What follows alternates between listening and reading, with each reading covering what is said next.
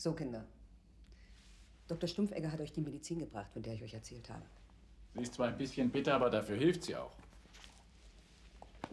Jeder einen Schluck. Wer ist der Erste?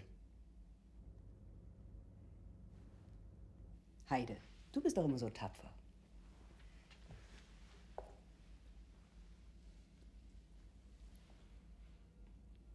Einen schönen großen Schluck. Noch ein bisschen. Siehst du, war gar nicht so schlimm.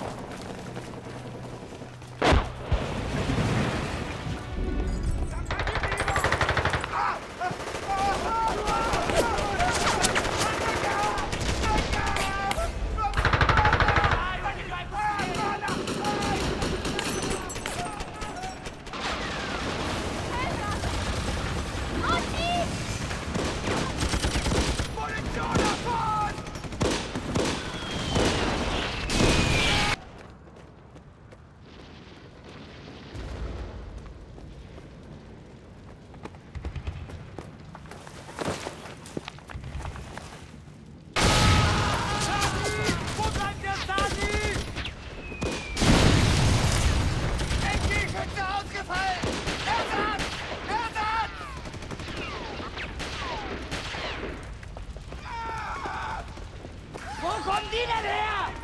Volkssturm! Heute Nachmittag zugeteilt! Was? Die sollen raus da aus der Schusslinie!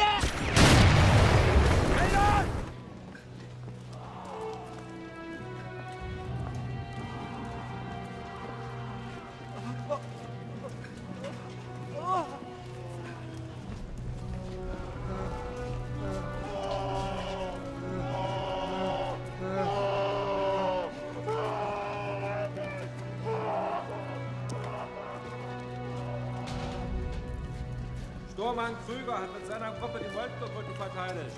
Er hält dafür das Eiserne Kreuz zweiter Klasse. Sturmann Wagner hat zwei MG-Nester ausgehoben und den Durchbruch in der Puttkamer Straße verhindert. Er hält dafür das Eiserne Kreuz zweiter Klasse. Sturmann Rauch hat wichtige Meldungen durch die feindliche Linie gebracht. Er hält dafür das Eiserne Kreuz zweiter Klasse.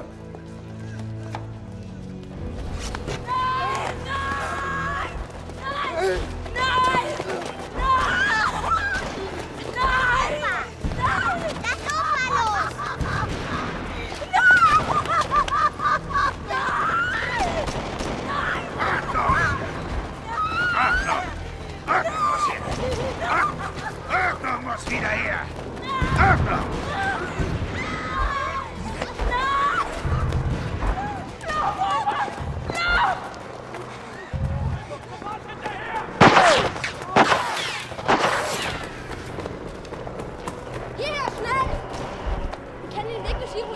Sie können uns vertrauen. Schnell!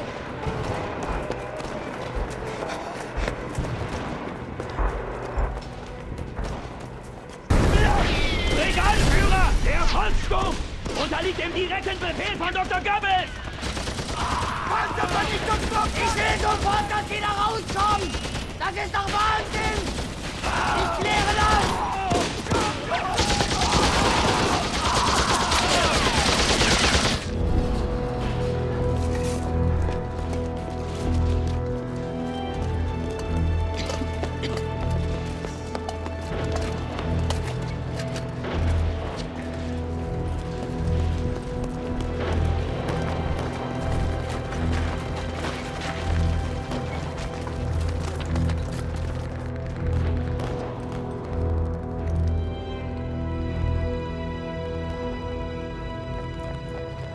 Da kommen die anderen.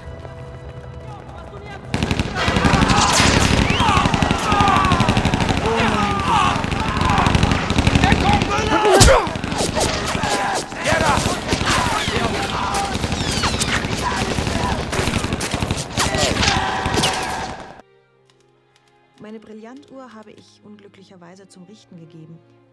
Die Adresse schreibe ich unten an. Vielleicht hast du ja Glück und bekommst sie noch. Sie soll dir gehören. Ebenfalls gehört dir das Brillantarmband und der Topaz-Anhänger, Geschenk des Führers zu meinem letzten Geburtstag. Der Firma Heise bin ich noch anliegende Rechnung schuldig.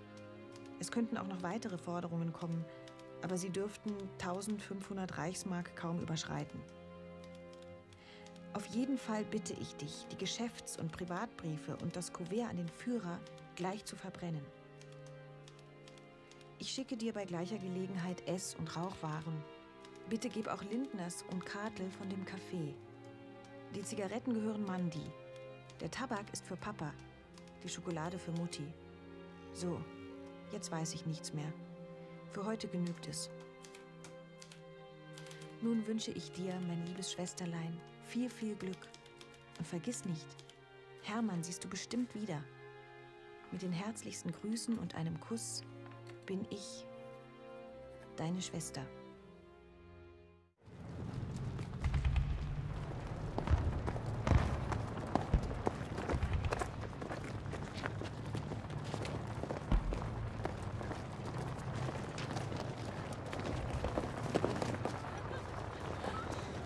Hoffentlich haben die Russen unseren Funkspruch bekommen.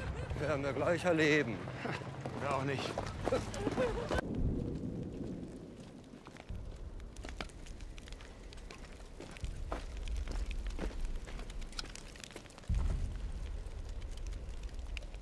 Wer da?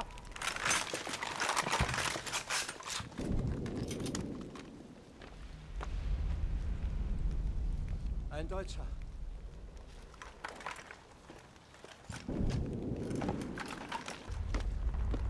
Herr Hebel? Hebel! Gott sei Dank, Sie leben. Wo sind denn die anderen?